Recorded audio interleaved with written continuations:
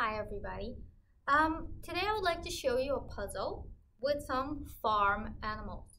Hayot, hava. Hayot is animals and farm, hava is the thing. Now, we're not only going to look at the puzzle, we're going to try and listen to it too.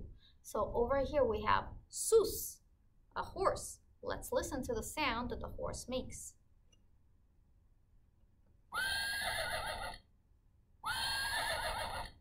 How about barvaz, a duck? What sound can a barvaz make?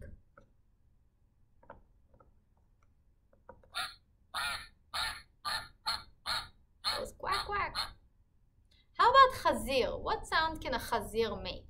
Do you think it's like oink oink or maybe Let's find out.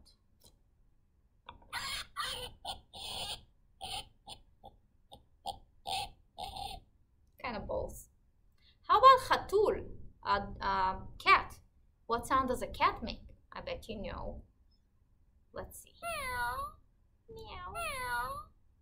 How about para, a, a cow? What sound does a para make? Para goes moo. How about kelev, a dog?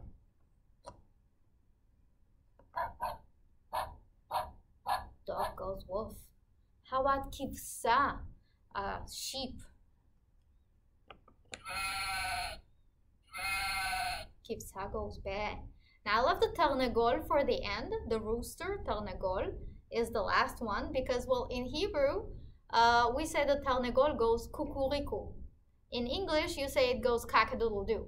So I want you to decide which one it sounds more like it.